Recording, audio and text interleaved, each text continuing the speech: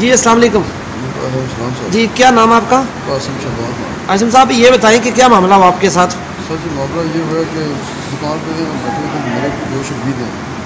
एक ऐसा पिंडी से बवाद है काका पिंडी से बवाद ठीक है। नथिया टोन का काशिफ नथिया टोन का। ये तीनों मेरे शहीद हैं इन्होंने लड़के साथ लेके आए तो मेरे मेरे से बैठ गए ठीक है। मामला क्या था? किस वजह से? मामला ये था सर जी लड़का था मेरे पास उसको मारने के लिए आए थे सर जी। ठीक है। तो मैंने उनको बोला छोड़ दे उनको उन्होंने मुझे भी मारा है लड़की हड्डी तोड़ती है।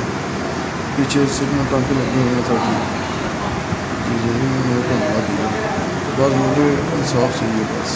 तो ये आपका जो है ना सर में चोट आई और नाक के ऊपर? जी जी सर सर से फटा हुआ है सर जी। ठीक है। नाक के हड्डी टूट गई है नाक की हड्डी टूटी है जी जी। तो मामला आपका थाने गया फिर मुकदमा दर्ज हुआ? जी जी मुझे थाने थोड़ी सपोर्ट कर रहे हैं थाने वाले भी। तो गिरफ्तारी हुई है? नहीं अभी नहीं हुई अभी नहीं हुई। क्या जमानत पे है वो? जी पूरी जमानत पे है अभी पूरी जमानत पे ठीक है। तो पुलिस आपके साथ तावन कर रही थी जी जी थोड़ा काम कर रही है पुलिस वाले मेरे काम कर रहे हैं मुझसे।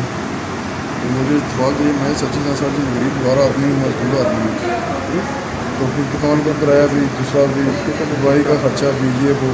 सब है ठीक है। तो हॉस्पिटल में भी आपकी ट्रीटमेंट ठीक हो रही है?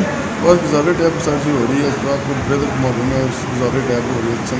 बहुत सारे तो अभी आपका क्या मुतालबा क्या चाहते हैं सर मुझे इंसाफ चाहिए बस। ठीक है। जो मुझे मुझे इंसाफ चाहिए बस। जिन्होंने आपके ऊपर हमला किया है उनको उनको कहाँ होना चाहिए? इंसाफ चाहिए।